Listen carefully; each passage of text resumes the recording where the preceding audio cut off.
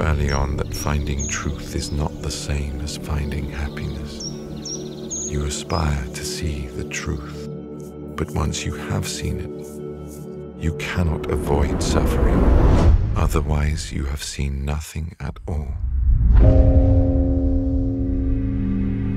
There is a song that we like to sing in I have arrived, I am home.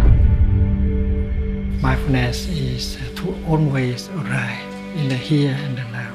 We have been running a lot, but we have not arrived. We take a vow to like not have any personal possessions. So we don't have money, we don't have bank account, we don't have credit card. If we are always in chaos, that's not secret sound. A smile can be a beautiful sound.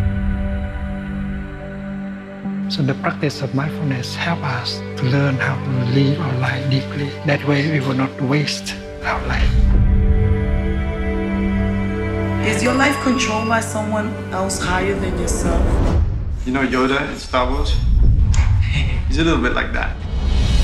I have a doggy. The doggy died, so I don't know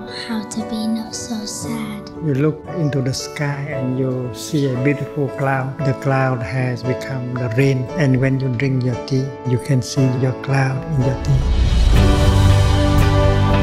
The past is no longer there. The future is not yet there. There's only the present moment.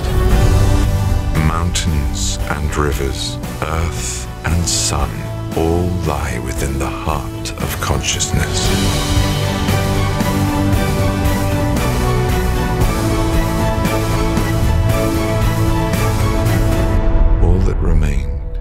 A deeply rooted peace.